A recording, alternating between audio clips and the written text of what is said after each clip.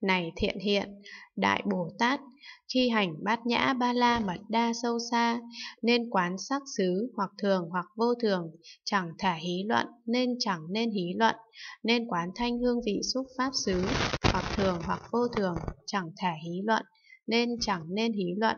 nên quán sắc xứ hoặc lạc hoặc khổ, chẳng thể hí luận, nên chẳng nên hí luận, nên quán thanh hương vị xúc pháp xứ hoặc lạc hoặc khổ, chẳng thể hí luận nên chẳng nên hí luận, nên quán sắc xứ hoặc ngã hoặc vô ngã, chẳng thể hí luận, nên chẳng nên hí luận, nên quán thanh hương vị xúc pháp xứ hoặc ngã hoặc vô ngã, chẳng thể hí luận, nên chẳng nên hí luận, nên quán sắc xứ hoặc tịnh hoặc bất tịnh, chẳng thể hí luận nên chẳng nên hí luận, nên quán thanh hương vị xúc pháp xứ hoặc tịnh hoặc bất tịnh, chẳng thể hí luận, nên chẳng nên hí luận,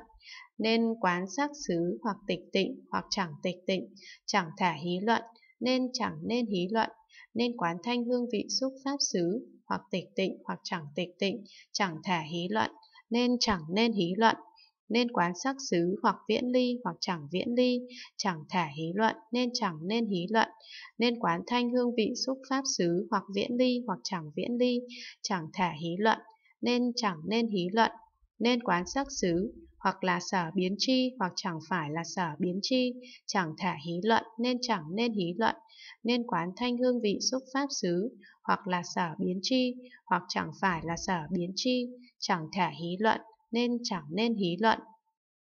Này thiện hiện, Đại Bồ Tát khi hành bát nhã ba la mật đa sâu xa, nên quán nhãn giới hoặc thường hoặc vô thường, chẳng thể hí luận nên chẳng nên hí luận,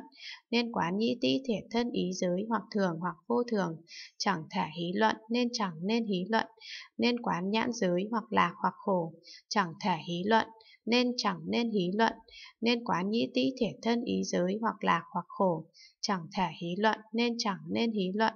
nên quán nhãn giới hoặc ngã hoặc vô ngã, chẳng thể hí luận, nên chẳng nên hí luận, nên quán nhĩ tĩ thể thân ý giới hoặc ngã hoặc vô ngã, chẳng thể hí luận, nên chẳng nên hí luận, nên quán nhãn giới, hoặc tịnh hoặc bất tịnh, chẳng thể hí luận, nên chẳng nên hí luận, nên quán nhĩ tĩ thể thân ý giới, hoặc tịnh hoặc bất tịnh, chẳng thể hí luận, nên chẳng nên hí luận, nên quán nhãn giới hoặc tịch tịnh hoặc chẳng tịch tịnh, chẳng thể hí luận nên chẳng nên hí luận, nên quán nhĩ tĩ thể thân ý giới hoặc tịch tịnh hoặc chẳng tịch tịnh, chẳng thể hí luận, nên chẳng nên hí luận, nên quán nhãn giới hoặc viễn ly hoặc chẳng viễn ly, chẳng thể hí luận, nên chẳng nên hí luận, nên quán nhĩ tĩ thể thân ý giới hoặc viễn ly hoặc chẳng viễn ly, chẳng thể hí luận, nên chẳng nên hí luận, nên quán nhãn giới hoặc là sở biến chi, hoặc chẳng phải là sở biến chi, chẳng thể hí luận nên chẳng nên hí luận, nên quán nhĩ tĩ thể thân ý giới, hoặc là sở biến chi, hoặc chẳng phải là sở biến chi, chẳng thể hí luận, nên chẳng nên hí luận. Này thiện hiện, Đại Bồ Tát khi hành bát nhã ba la mật đa sâu xa, nên quán sắc giới hoặc thường hoặc vô thường, chẳng thể hí luận, nên chẳng nên hí luận, nên quán thanh hương vị xúc pháp giới hoặc thường hoặc vô thường, chẳng thể hí luận, nên chẳng nên hí luận,